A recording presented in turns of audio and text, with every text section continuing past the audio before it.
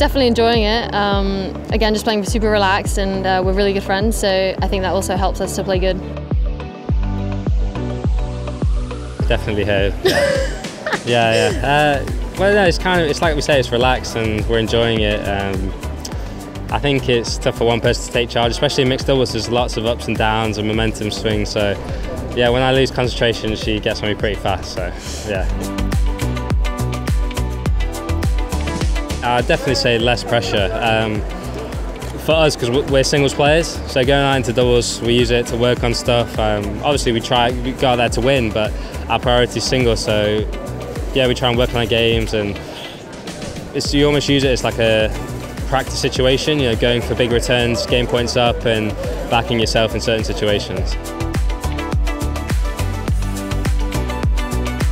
Well, obviously, with, you have a partner, so it's obviously a little bit more relaxed. Um, definitely, mix and women's dubs is a little bit different, um, and I think mix is a bit more relaxed.